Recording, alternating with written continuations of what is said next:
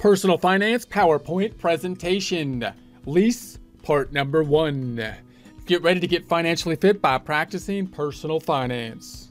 Most of this information can be found at Investopedia Lessee by the Investopedia team, updated December 12, 2021. So you can go there for more references and resources, continuing your research from that point. In prior presentations, we've been talking about the decision making process for larger purchase items, those that are going to impact multiple periods into the future. Remembering that when we're thinking about finance in general, we can usually think about those short term types of decisions where we can train our gut so we can trust our gut using tinkering, using trial and error, and those long term decisions where we can't train our gut to trust our gut because the one decision is going to have an impact for multiple periods into the future, and therefore we put in place a more formal type of decision making process. We then talked about the home purchase versus leasing or versus renting and now we're focusing more on the renting side of things as a home as opposed to the home purchase.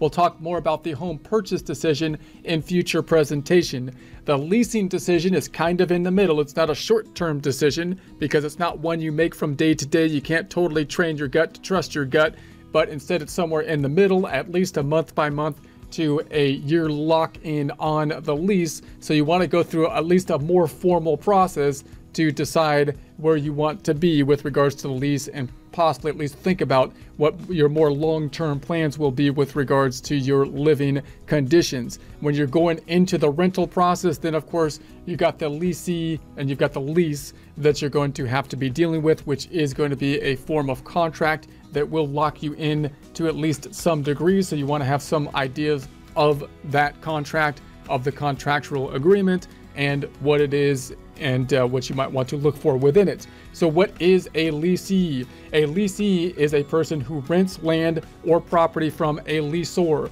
These two terms can often get confused when you're talking about a rental type of situation, meaning when you say the lessee, are you talking about the person who's doing the renting, the rental company, the person doing the renting, or are you talking about the person who is renting the place that's going to be paying the rent? When we're talking about the lessee, we're talking about the person that's paying the rent, not the lessor. The lessor is going to be the one that is giving the property, the one that's going to be receiving the rent. So once again, a lessee is a person who rents land or property from a lessor. The lessee is also known as the tenant and must up, um, uphold specific obligations as defined in the lease uh, agreement and by law. So we're considering here, we're in a lessee perspective, we're looking for rental property that we are going to be renting from the lessor. So the lease is a legally binding document, and if the lessee violates its terms, they could be evicted. So when we think about what's involved within the lease, if we violate the lease, which means, for example, we don't pay, for example, that would be the most clear cut kind of violation, then action could be taken in accordance with the contract that has been put in place, which could, of course, include possibly the eviction. Understanding the lessee. Lessees who rent a property may be required to follow certain restrictions and guidelines in the use of the property or real estate they are paying to, to access and use. So you want to make sure that when you're paying for the access and use, that you understand what those restrictions are so that you can make sure that they are going to suit your needs and that you can work within them.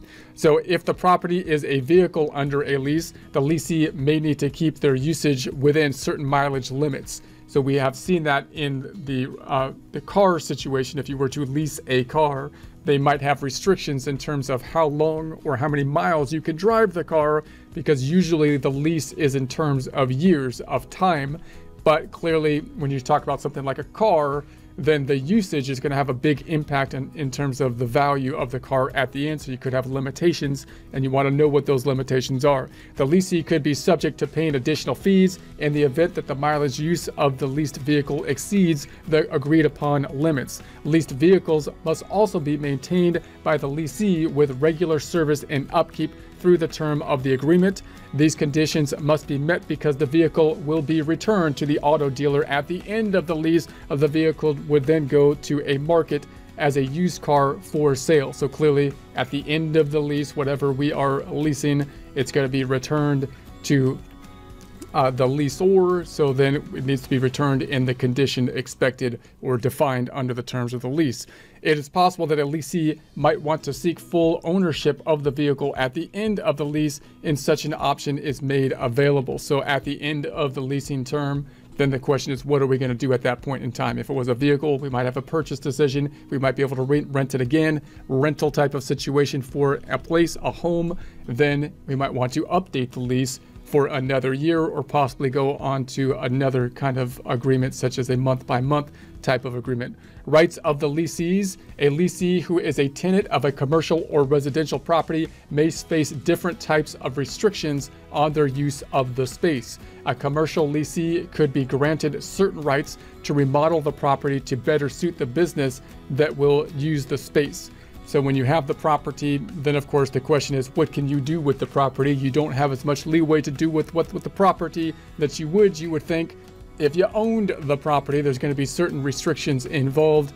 And I, if you are the type of person that likes to do a lot of personal remodeling, likes to do your own thing in in your home, and put your own time into remodels and fixing things and so on, then you might feel more restricted on a leasing situation than a purchase situation because of course those there might be limitations on those types of activities in a lease situation. This can include uh, repainting of walls, adding the signage associated with the company's brand, or installing equipment that will be used during the course of a business. So if you're talking, you know, about business property, then then the question is, what can I do with regards to the branding and a sign and so on. If you're talking about residential property, possibly you're doing business in the property as well as your home. Question is, what can you do uh, with regards to that property on your business as well? You can't you can't treat you know you got to be within the guidelines if it's residential or business property. A commercial lease will also specify if the property must be returned to its original state when the tenancy uh, ends. So if you make substantial changes to it, what does it need to look like when the lease is over. You got to change it back to what it was before or not. Rights of the lessees. Residential leases uh, may be limited to the choices for or bar- are barred from repainting the space they occupy as tenants.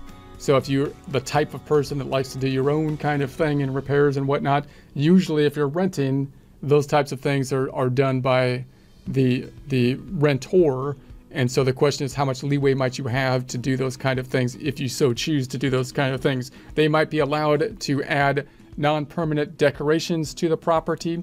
So when you're adding decorations, clearly they're going to have an impact on the property. Are they going to be permanent? type of things that are going to be added or not. The lessee's rights include the right to privacy, the right to basic standards of habitability, such as water, electricity, and heat, the right to live in a space that complies with local building codes, rights of the lessor. So the lessor, remember, is the person that is renting the property as opposed to the lessee that is using the property. In other words, the lessor is going to be receiving the rent, the lease, and the lessee is the one that's going to be paying it. The right to uh, screen potential tenants. This is the lessor's rights. The right to know and approve of occupants of the leased unit. So they get the ability to screen who's going to be using the property and make those types of decisions on who's going to be using their property, which would make sense given the fact that they own the property, the right to use part or all of the tenant's security deposit to repair any damage caused to the property by the lessee. So clearly, you got that security deposit type of situation designed as a safeguard in the event that there's damage to the property that the person leasing the property has coverage over it. The lessor's responsibility include complying with health and safety codes, making necessary repairs, returning a fair amount of the tenant's security deposit when the lease is terminated, and providing advance notice to the tenant if it will be necessary to enter the unit.